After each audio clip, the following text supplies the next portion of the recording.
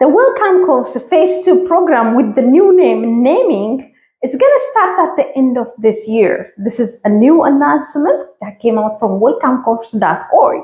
Welcome Corps Phase 2 is not the same as Phase 1. The Phase 2 is called naming, which means we select the refugees that we would like to bring into the United States. The Phase 1, which is called now matching, is going to be random matching. So we don't want to apply for phase one because we want to be matched with a random refugee that would like that's already approved for this program. Let's go and back and focus on phase two, which is called naming. So naming is going to start at the end of this year with the new requirement. The first one, the refugees have to live in in another country other than their original country of uh, nationality, which means they cannot live in this own country and apply for welcome to program, which is naming program.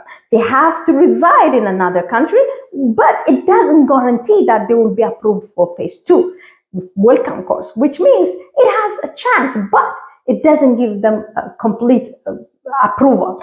For them to migrate from their own country and go to another country and be approved for welcome corps. So we have to be very careful with that because so many people are migrating out of their own country and trying to apply for welcome corps. For welcome corps is saying that this will not guarantee you that will be approved for welcome corps. Another one is refugees uh, will come to this country, but the sponsors have to live in the same community. They cannot live outside of the state or another country to sponsor these refugees refugees can be grouped into five or more. This is one. This is also a new update. So the five or more can come together and apply for this refugee program to bring in either a, an individual or family members. Family members, per this definition, could be, you know, according to our last update, the parents, uh, grandparents, or grand grandkids coming together and live in one roof and then they define them as family. So we can bring them here. By the way, group five could include your colleagues, your uh, schoolmates, uh, your friends, your family members, or any member from your community can come together and sponsor these refugees. What else do we know? So this program is also approved for uh, UNHCR approved uh, uh, refugees, but also they have to be above 18. They have to be above 18. They also have to fulfill other criteria. That's also been stated so far.